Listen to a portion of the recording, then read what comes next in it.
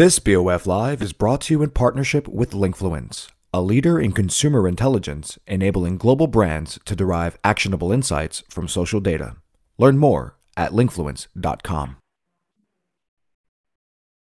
Good afternoon, good morning, and welcome to BOF Live and what I'm sure will be an insightful and informative conversation on how brands and businesses can tap into global social media trends.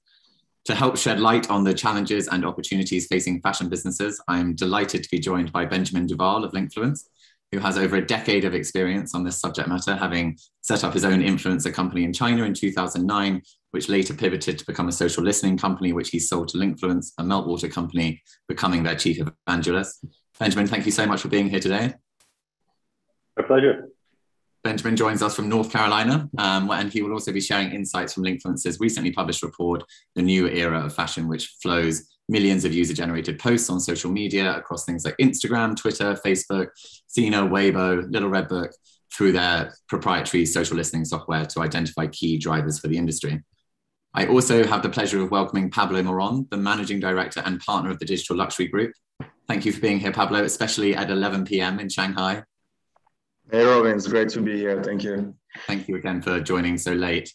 Uh, Pablo, Pablo's team manages 360 degree digital and consulting projects for major luxury brands in various sectors, including Montblanc, Four Seasons, Christian Louboutin, and Landmark, among many others. Um, you know, Ben and Pablo have both been having spent time in China, they have both had a front row seat to the evolution of social media and where we are now today witnessing new commercial dynamics between brands and the platforms, compelling new behavioral trends, as well as significant technolog- technological developments which are transforming how consumers interact with luxury and fashion businesses through mobile and social commerce and how well we understand that interaction. From the verticalization of niche communities exemplified by platforms like Bilibili to the viral success of UGC content pioneered by Douyin and then later TikTok in the West.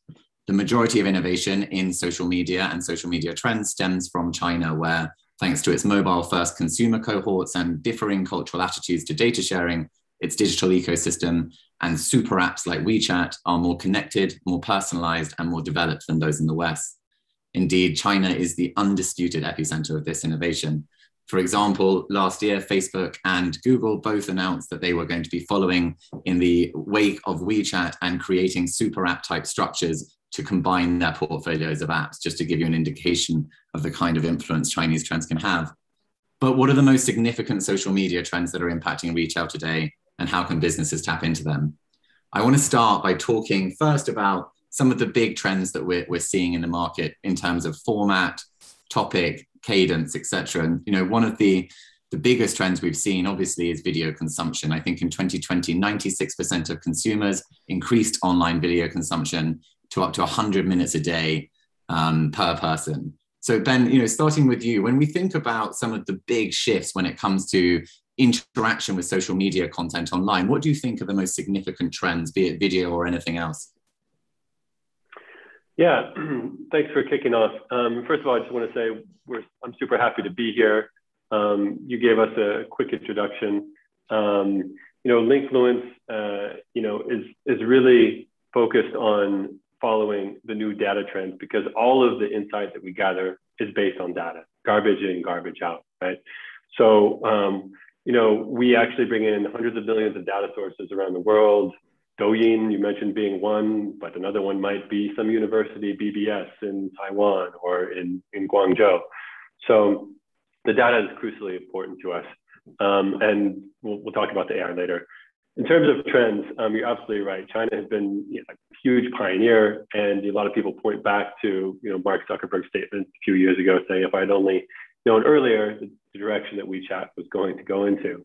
Um, but you know the lockdowns uh, last last year and, and, still continuing in many parts of the world, which have changed in the U.S., have really accelerated the uh, proliferation of, of, video and video platforms. Um, we saw this as you know as early as actually three four years ago when there were hundreds of live streaming apps that were coming out and it was just a red ocean. Um, and of course, Douyin and TikTok in the West have kind of filtered to the top. Um, but that's completely changed the way that the consumers share now. Um, short video format is um, you know, by far and above the most uh, engaged format uh, today. It's what consumers look for. Um, you know, the, the infinite scroll has become basically a standard. And I think what brands are struggling with now in the US, you mentioned commercialization of that format. Um, you know, still there's many brands who focus on uh, Instagram because they believe that they can use um, the uh, ad formats and the commercial formats of Instagram and Facebook to convert, whereas TikTok is a little bit more difficult to understand. Um, and in China, on the other hand, we've had integration of commercial features since you know five six years ago. So I think there's still a lot of room to be done in the West. Um, whereas in the China, there's, there's been a lot of empowerment, and of course, uh, video is at the forefront. Pablo, you work with leading brands. From the brand side, you know, what have you seen as to be the most significant trends that they are either tapping or missing? Short, short video, as you said, is definitely the first one that comes to mind. I mean, just, just to share a few numbers uh, in regards to that. Um, Chinese users spend now the most time per day on short video ads, surpassing instant messaging or mobile games. Uh, and that was released on for the re recent uh, Q2 data. 30% of user time is spent on average watching short videos. Um, short videos in China reached 905 million uh, active users, uh, monthly active users, penetration rate of close to 80%. Uh, it became a global phenomenon. And what it means is that at the beginning, we're watching Douyin, and, and the key question for luxury brands at, at, at the inception stage of Douyin was definitely in terms of the relevancy it has, in terms of the positioning, positioning it has, and whether it was right. And at first, it started by an assumption, or maybe not an assumption, it was factual, that it was highly popular and with a high penetration rate among a young audience. That is obviously a very strategic segment in China, but now it's becoming a global phenomenon. Uh, and, and, and as, as Ben very rightfully said, one of the key things linked to that is the fact that when the short video boom happened in China, there was already e-commerce integration in place. It evolved. Uh, at the beginning, Douyin really made an impact as a very performing traffic driver towards Tmall. Now with their ambition of, of, uh, of becoming a, legitimate e-commerce contender, and they have a very strong uh, ambition related to that, the mechanism has changed. There is now even the possibility to have your own flagship store into Douyin. And so that short video, um, which is not anymore a new phenomenon, but, but became also truly integrated as part of a consumer journey. Uh, and, and that's a, a massive change for brands in terms of how to approach a platform like that. How has the short video boom or the popularity of short video impacted the influencer and KOL trend or economy that we saw emerging? You know, obviously there are short video influencers and and um, KOLs, but it, it is a distinct type of consumption. Ben, perhaps you have some thoughts. Yeah, I mean, it's only accelerated and democratized, um, you know, ac- access to to making money. Um, you know, previously, you know, if you looked at the influencer economy, people were talking about macro influencers. Um, I actually, you know, the influencer company that you started, that you mentioned earlier, that I started around 2007, 2008, was a grassroots influencer marketing company. Um, we did activations, campaigns of 5,000, 10,000 influencers at a time. Um, but we kept on getting pigeonholed as kind of a field marketing or a sampling agency because we were kind of 10 years ahead. It wasn't really until uh, individual streamers and creators were able to uh, to commercialize on that themselves through the tools that the platforms integrated um, that this is able to happen. And that's really responsible for you know a company like ByteDance completely kind of coming out of nowhere in the last couple of years and becoming one of the big four in China. So yeah, it's it's, it's a fundamental um, you know it's, it's a fundamental phenomenon that we've seen over and over again, which is you know access to attention, you know access to capital, um, and, the, and the ability to uh, to share content and, and to, to share creativity in a way that's um, never been possible before. And of course, the constant uh, war between um, the platforms capturing their fair share of that. I, I think, Benny, if I can, um, you, you, mentioned uh, grassroots marketing, and, and, and I think that that's really a key thing. And, and this is what Douyin, and, and now we're talking about short video, but to some extent, we'll talk about Thread as well. Uh, but, but this is a topic, and, and I've, having been in China for 10 years now, I actually don't even know if grassroots marketing is really a thing outside of China. Uh, but, but it's true that if you look at it historically, the way luxury brands would work with influencers was mostly targeted as top tier. Very top tier influencers, one-off activities, supporting of campaign. And, and, and Douyin and, and Xiaohongshu rather um, I've, I've really brought to luxury brands that concept of grassroots marketing that was much less present on other social media platforms because of the power of those smaller micro influencers, no matter if you call them micro niche or key opinion customers, KOCs. Uh, and, and that became a new thing for those brands, realizing the importance also of, of, of, of having that amount of repetitions and, and somehow contributing to shape the word of mouth um, and, and, and that's something very interesting that was definitely brought by those new trends. And, and that also corresponds to the consumer that is evolving and that is looking for a content that can be in some case a little bit more raw, more relatable, more genuine. Uh, and, and, and that's definitely fully aligned with those big trends. Thinking about yeah. how, sorry, Ben. No, I just wanted to bounce back on that because um, you know, I, if you think about it, there really has been a shift. Um, I think more, at least into the middle tier of influencers. You know, I remember a few years back that we used to have this phenomenon called the Jay Chou uh, Sunday, right, where it was like Jay Chou on on fried chicken, on sneakers, um, on luxury wristwatch, on this, that, and the other, and there was no real, um, you know, synergy between the personality of the influencer and the relatability of that person to their audience and their their group of people or their tribe. And what the brand's personality was. It was just a pure media buy you know? It was like who is the big Mandopop star or the actor that, that we can purchase to buy media to access the social channel?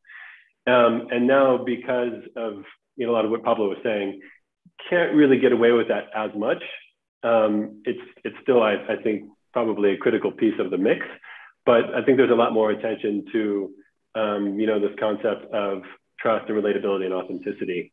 And um, I'm not sure if that goes, you know, follows through, through the commercials. Um, you know, does that actually drive purchase at the end of the day versus having, you know, someone who can sell 10,000, you know, lipsticks, uh, Maybelline, you know, in, in one, uh, you know, live stream, which you've seen some phenomenons like that happen. Um, but I definitely think if we look at the inspiration for trends and the way that's affected consumers, it definitely has become a lot more grassroots. Thinking about talking about authenticity in tribes, it seems that we're at a juncture where, on the one hand, you have the democratization, that short term, short form video, and far greater numbers of individuals that are creators and contributing to this economy is creating. But you also have and it doesn't necessarily mean it's small in scale, but very niche communities, communities that can find themselves potentially at scale, but built around these small, very, very specific interest points. We're also at a stage where, despite global, despite the impact and the travel bans of COVID nineteen, we are still uh, the more the most global society we have ever been. Do you see any trends when it comes to topics or something beyond format beyond videos but you know when it comes to interests or topics or types of interactions that are emerging can you see that we may be on the precipice of global social media trends that relate to identity or relate to activity as opposed to formats that perhaps we might not have been previously? Do you want to go ben uh, yeah, I can try. Um, oh, please, Ben. Sorry. no, Pablo. I was about to let you, let, you go first. I spoke back. You go ahead. And you're the expert okay. in the luxury field, so I don't want to step on anything before you before no, you talk. no, no, but um, I, am not sure it directly um, uh, address your point, but on, on that topic of empowering users and, and, and allowing them to become truly content creators. Um, because the fact is that before Douyin and Red in China, users were not truly content creators, right? Um, and if we look at UGC and what it means today and the dimension that it is taking, what, what I love to look at is, is the, the dimension that Red has developed in, in, in literally becoming a review platform. And, and, and this is where Red plays a massive role in the market where people go there as well to spot new trends and be inspired and that very kind of top of the funnel uh, type of content. But Red also plays a very strategic role when it comes to reassurance, when it comes to confirming an act of purchase. And, and there is a whole category of UGC that, that you can observe on other platforms, but I feel that Red is the one that, that really embody that. Unboxing video, people sharing their experience of, of unboxing their latest purchase, people showing how they're gonna wear it, how they're gonna style it, publishing their reviews about it, and going to like significant level of details, positive or negative for that matter. Um, oh, sorry, I see a few questions. We're, we're, talking, and yes, it's a bit confusing. We're talking about Little Red Book, also known as Red. Uh, that, that's the platform I was talking about. And, and so I, I think that's an interesting dimension because I think that previously we would look at content creators that were mostly people with, with a creative approach. Uh, and, and now we see people that showcase the knowledge through tutorials, or again, simply consumers that are expressing a point of view and sharing an experience. And, and this is very interesting. Um, I just want to pick up on a question from Nina. Um, I, I, will we'll, we'll, we'll follow up with spelling of Little Red Book, but um, Nina's asked how small brands can reach out to get engagement in this shift in, in landscape. And as I was very complicatedly explaining, you know, but we are at a, at a shift where there are many more content creators. You don't have to go to the traditional macro influencers. You know, in this transitional period, is there any advice or do you see area, any areas of opportunities that will enable design businesses to break through the noise or is there an opportunity for them to reach consumers that wasn't there before? Ben, do you want to perhaps kick this one off? Yeah, I mean, it's a paradoxical time. Um, in one way, it's a better time than ever because there's new platforms that are coming out all the time. I think there's investment capital in these platforms that are willing to wait to figure out how to commercialize those. And that's an opportunity always for small businesses and people to get their content out there um, before uh, they become, you know, uh, inundated or the field starts to be controlled with advertisements or the attention starts to be monetized and filtered in certain ways. There's been a lot of criticism uh, for platforms like Facebook, for example, um, a lot of brands having pulled out completely because, um, you know, they just, they don't believe that um, they're getting the return on their investment for that platform, nor do they believe that it's become you know, it's really evolved into a place where people can organically share content. Um, China, in many ways, is still the still the Wild West. Um, and even though you know things are starting to become more concrete, like platforms like Red have now been around for a while, um, there's still this um, sense of accessibility. So um, you know, connecting without having to pay through the nose for macro influencers, um, creating a strong brand proposition and a strong story where you relate to a tribe, a group of people who have psychographic, not demographic connections, who are, are passionate about something, and building a relationship with them and using some of the fundamental tactics of, of grassroots marketing, influencer seeding, um, CRM, um, and basically empowering these people to own your brand. There's been many stories, not just in the West, or, uh, um, not just in China, but also in the West, White Claw is one example of a brand that rode, you know, the the boom of the hard seltzer industry and basically let the consumers own their brand and empowered them to do so through seeding and events and kind of grassroots tactics. So I think it's a better time than ever. The specific example is a B2B example, which is always more challenging. But within the case of design, I mean, that's a phenomenal opportunity to showcase. Um, so, you know, I would I would encourage um, you know, this person to, uh, to get out there, um, understand the people who are in their tribe, uh, what are the passion points of that tribe, and, and try to engage with that with product seeding and live content. if I can add up on, yeah, if I can add up on that topic, I feel that if we're looking at potential alternatives on, on especially if we're talking about brands that are at a market entry level or that are still at a focus where they need to build their awareness, with, with not necessarily investment available to, to tick all the boxes. Um, again, what those trends that we're talking about are bringing in terms of opportunity is that in the past, influencer marketing was mostly perceived as something that would be here as an as an amplificator role. Uh, you would be here with your official account, and the influencer marketing would be also measured in terms of ROI on how it benefits to you. Um, but on platforms like Red, again, what, what you see is that the word of mouth and the UGC is, is even more impactful potentially than what you are going to achieve through your own account. And, and, and we know that one of the key challenges in China is, is the cost related to, to content production. Um, I mean, agencies like us, our job is, is to do the best out of what is already available from headquarters. But once you start to see on how to fill the gaps, when you start to look at the amount of work, no matter the quantity or the quality of the assets available, required to copywriting, regarding to reworking the different assets, it can be very significant.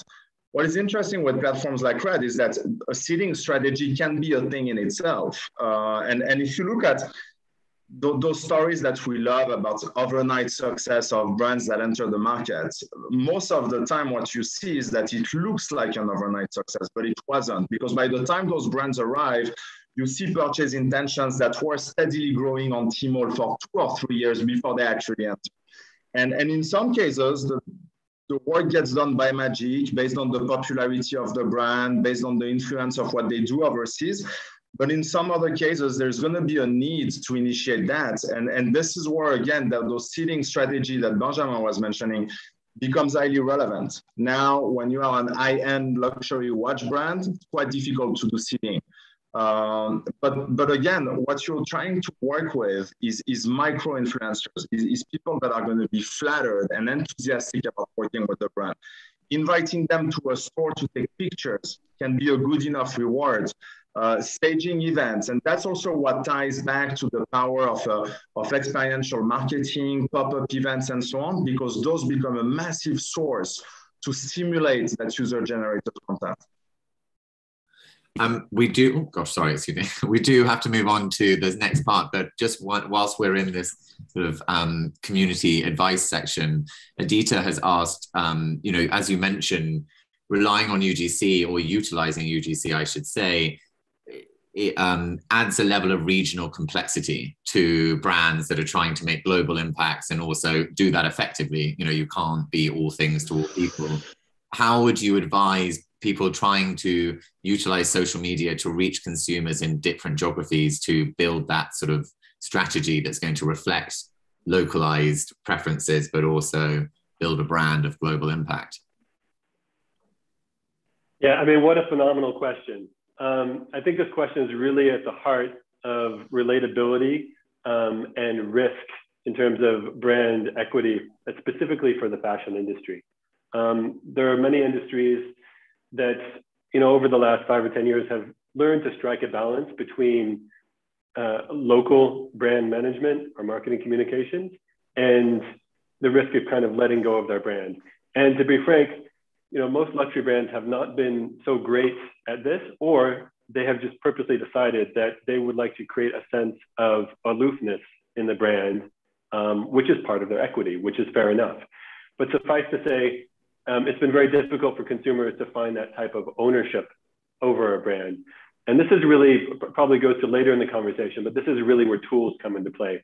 Both CRM mm-hmm. tools uh, Meltwater, for example, has a tool called Klear, which is an influencer management tool, um, as well as, uh, as tracking tools. Um, and I think what's most important about this, starting on the, on the tracking side or the insight side, is understanding which people in your tribe actually relate to the personality, the fundamental personality of your brand.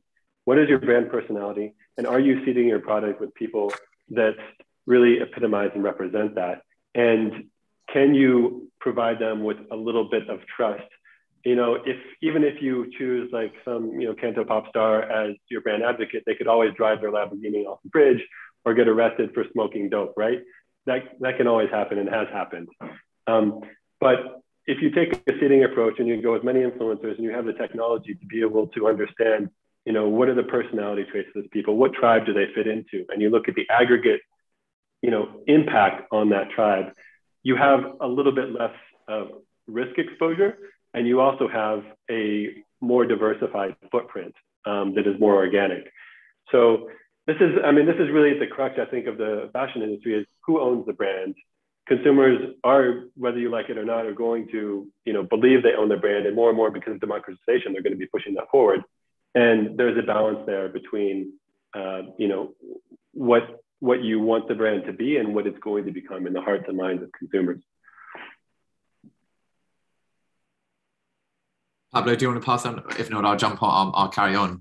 Um, something that we haven't discussed yet, and it's picking actually up on on the tools that I know we're going to go into more detail in a few minutes on Ben. So thanks for introducing that. But you know, part of the reason why various tools are becoming increasingly critical is that the relationship between social media platforms and the businesses and brands that are on them has changed quite dramatically with the release of shoppable content you know what were once collaborative relationships have now become platforms that want to own the entire customer journey that clearly as you say have huge e-commerce ambitions of their own. And i just want to spend a few minutes now talking about how brands can navigate some of those new dynamics and and what they can what they can do to utilize platforms appropriately. So Pablo, perhaps you can just kick off by sharing what your thoughts are on, on the reality of that shift in dynamic and, and what individuals can do if they don't have the clout of Hermes, shall we say? But I'm sure even Hermes is now subject to the power of these platforms.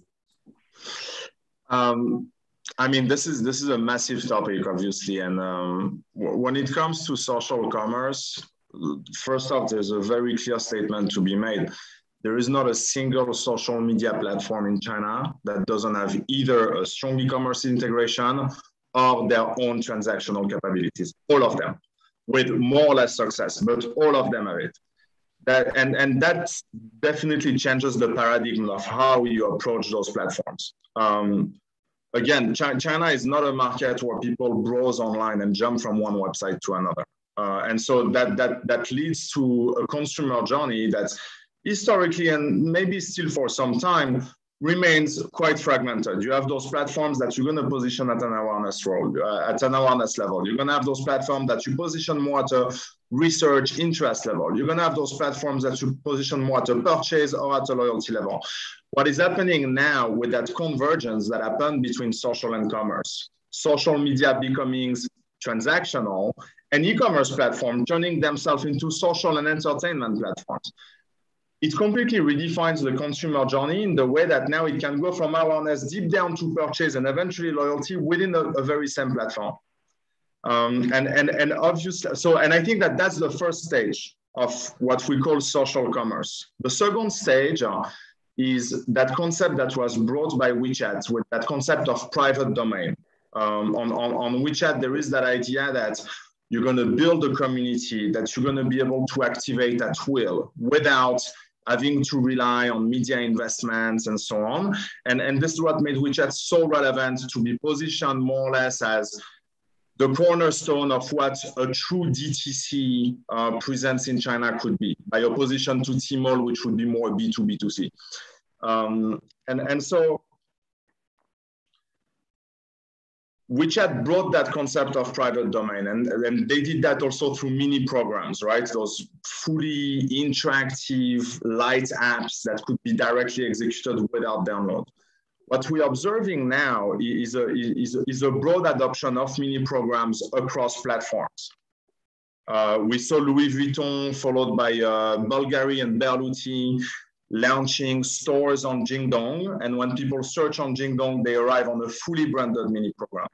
Baidu offers mini program. Tmall offers mini program. What it gives to brand now is an opportunity to design a shopping experience that is 100% controlled by them. You don't have anymore that, that old fear that the luxury industry had about Tmall, which is, oh, I don't want my product to be displayed nearby the rice cooker. And, and, and this, is a, this is a massive thing because that means that every investment you are going to do at the top of the funnel eventually will be able to be directly measured in terms of concrete sales ROI. Because revenue attribution is still a challenge right now, especially when you're on a market where people jump in between apps rather than, I mean, China has been cookieless forever.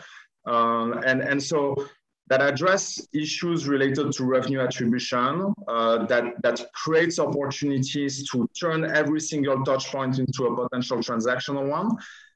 But all those great opportunities come also with very high requirements in terms of how you're going to measure the performance, how you're going to unify customers' profile. And this is super exciting, super exciting. Ben, we're at a time now where the barriers to entrepreneurship are lower than ever. You know, there's off the shelf solutions to a lot of the challenges that previously were very costly. But similarly, it's you know the actual channels through which retail are being executed are consolidating getting very consolidated in few hands you know with a social listening data company that is you know your business is focused on the data that this all creates what do you see as the greatest loss that this new dynamic has created for brands and businesses in terms of how they used to understand their customers through their relationships with the platforms in the past um, yeah, it's an interesting question. It's related to Pablo's answer. I mean, when there are closed pockets of communities that are managed by brands, um, it does create some challenges in order, uh, does create some challenges to data capture. But I think the biggest challenge is the perception that marketers have that everything is happening in those specific domains. Um, and, and that's simply not the case. I mean, one thing that's happened in social listening over the last few years is this data agnostic approach where social listening isn't really a good term to define the industry anymore at all. Um, AI enabled consumer intelligence is really a better term because we're having a unified data approach. So we're, we're bringing in those sources, those review sources um, from those platforms. Um, we're bringing in first party data from that might come from uh, surveys that are run by brands within their closed platforms. Um, and we're integrating data that's on all of those long tail platforms where the kind of weak signals are happening, where the early trends are happening, where there, you create opportunities which could really, um, for some industries like hygiene, for example, innovation can completely, you know, leapfrog your competitors. Or within fashion, you can have a way to connect consumers in ways that other brands aren't in their closed community. So I think if, if marketers just look at, for example, Taobao and they're like, this is, um, you know, or, or, a single platform, and they're like, you've got the whole funnel here, just focus everything here, um, and not bring in that vast amount of data sources, um, then you're, you're missing opportunities. Um, and those opportunities go across the business. So um, we were just talking about commercialization, but there's opportunities when you look at reviews for quality control. In China, there's opportunities for um, gray, mark, gray market, like trademark infringement detection, things like this that go to various aspects of the, of the business. And all of that, that investment in data scales infinitely. Once you have it and you have it in the platform, you can use it for tracking your commercialization through the funnel. So, um, and, and you can use it for detecting signals. So I think the, the biggest tragedy is really probably like a perceived, um, you know, the perception that everything is happening just on these, you know, four big giants, where it's actually more complex than that.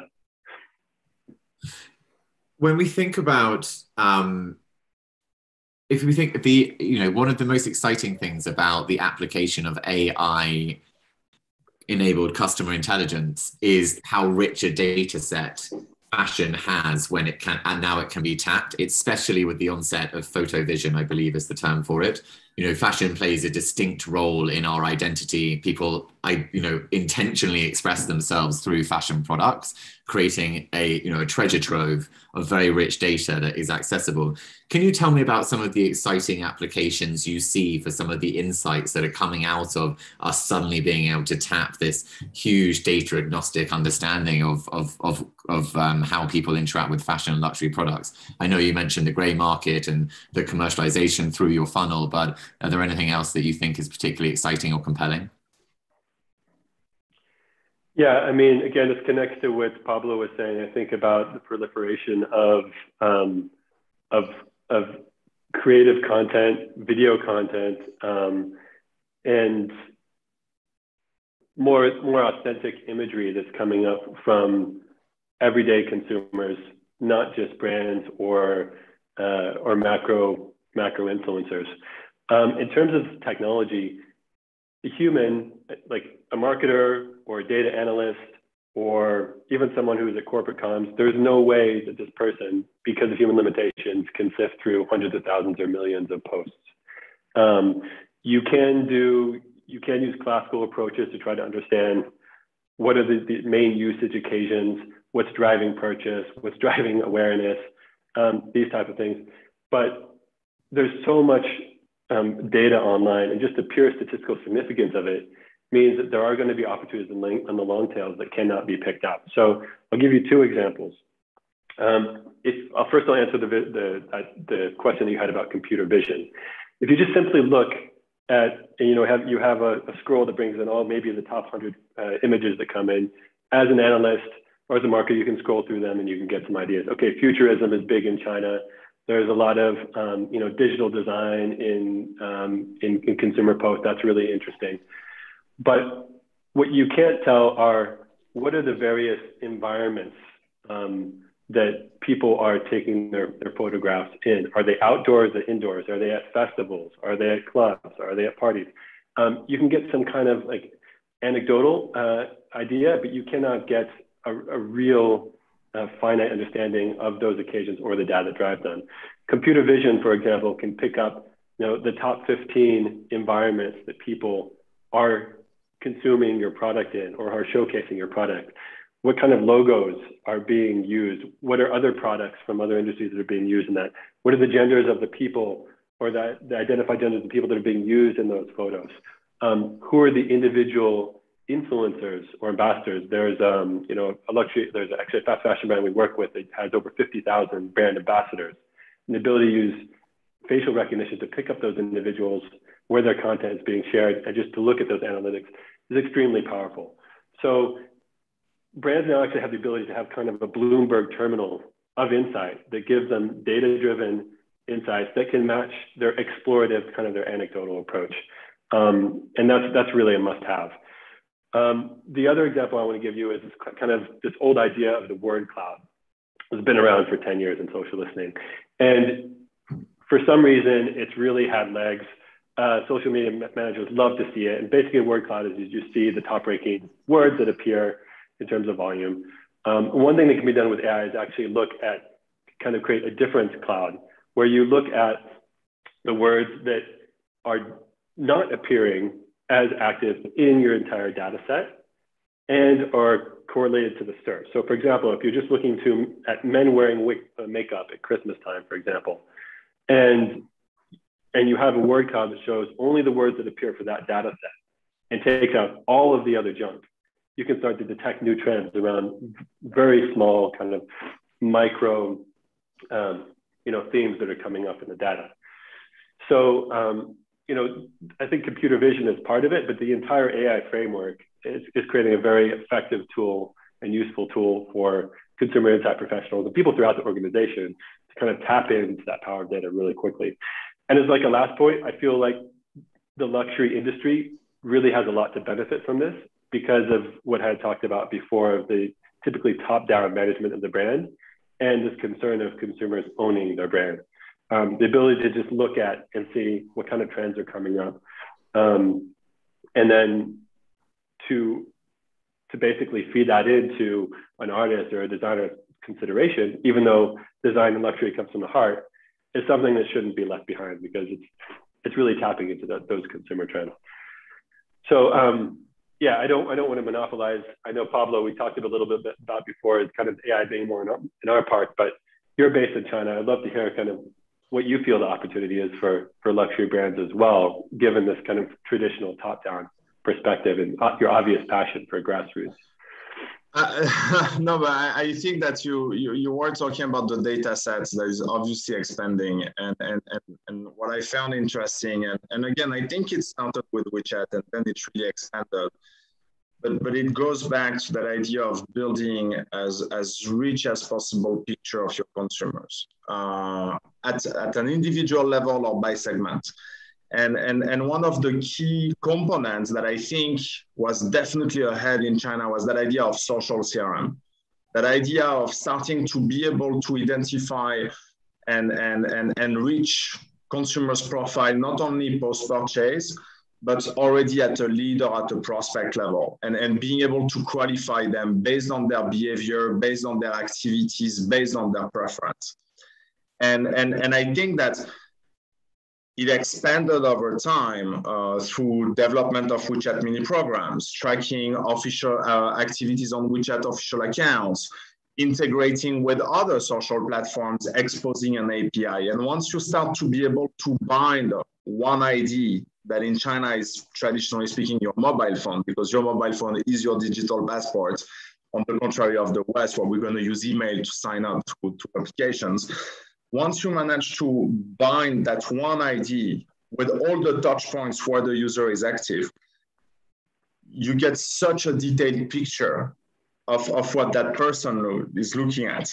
And once you put all of that together and that you got an AI that gets trained in analyzing that, in, in terms of being able to do predictive modeling, identifying patterns, it goes beyond the inside. I think that there is a massive opportunity to directly have a strong impact on the impact made by the media planning and the media buying. And, and this is why there is that entire thing now on how to connect a CDP, like a, a real consumer data pool with uh, the DSP and, and being able to make a deep impact from all those data points and touch points that are going to be gathered to develop smarter advertising and smarter distribution. And, and, and that this is this is very interesting, I think. Pablo, I'm going to I'm going to come to you in two seconds and ask. You know, we've spoken about a lot today, and there's a, a big variety of, of individuals watching in our community.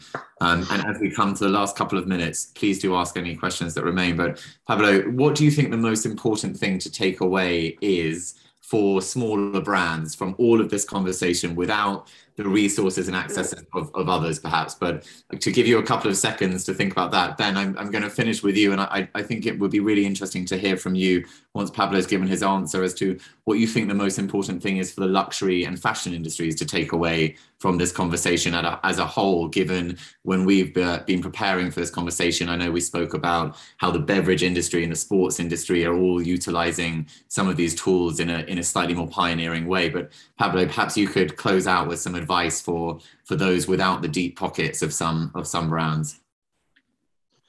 That might not be the answer they expect, but first off, I think you need to have somehow deep pockets in China. Um, and, and obviously, this is the agency guy talking, but I, I don't want to entertain an idea that with great content and by being smarter than others, you're going to be able to make it overnight. Uh, we were talking about the difference between social media in China and the, and the West, and the fact that, that e-commerce integration is a, is a must-have.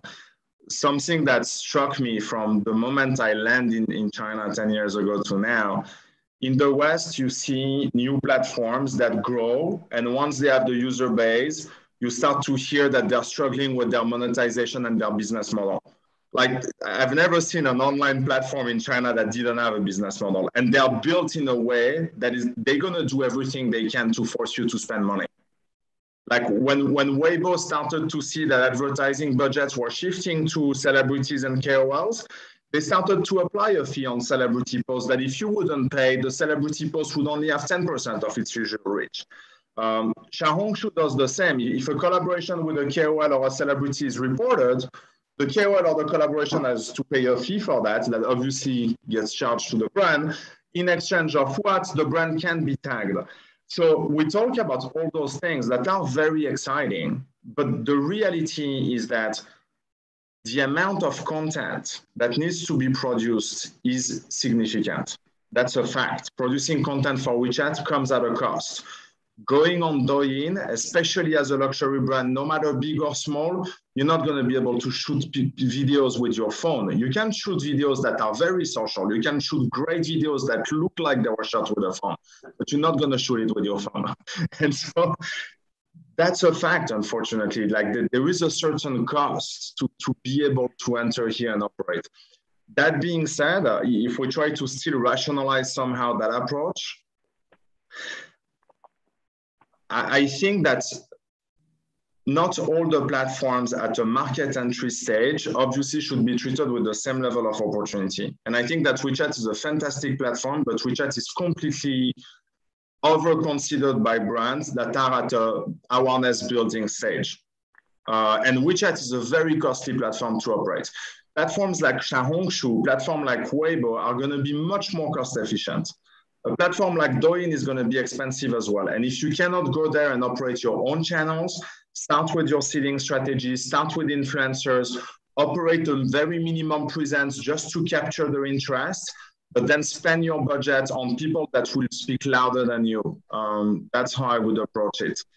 And, and, and also don't think that e-commerce is profitable overnight. So it's going to come at a cost, but before you reach a certain level of brand equity, it's going to be difficult. Uh, WeChat commerce relies on the quality and the, the quantity of the audience you've, you've built. Tmall requires a certain level of brand equity to be profitable as well. So, so it requires a very rational approach, requires stage approach, requires to not get burned on over investing on content and infrastructure, even though it's great, because without being able to invest on, on media, unfortunately, it's going to be hard to stand out. Choose your platform wisely. I think that's the same in the West. There's clearly times of eventually, yeah choose your platform and the time wisely. Um, we are almost out of time, but Ben, please do share what your thoughts are in, in, in how the industry can learn from others, perhaps. Yeah, absolutely. So the fashion industry is very expansive, um, but I think historically both the sports fashion, fast fashion, generally newer, luxury fashion has been driven by art and intuition. And on one side, I think the sports fashion brands have done a tremendous job of looking at the vast amount of data and the democratization of content by consumers and really integrated that within their organization, from marketing through to uh, corporate affairs to innovation. On the luxury side, some brands have integrated a lot in terms of marketing, but there's still this question, I think, of where does innovation come from in the industry? Who owns new concepts? Who owns new trends? Um, and regardless of this, AI-enabled consumer intelligence is an incredible tool to just be able to watch what's out there. And it's an essential tool that is going to be onboarded by every leading brand.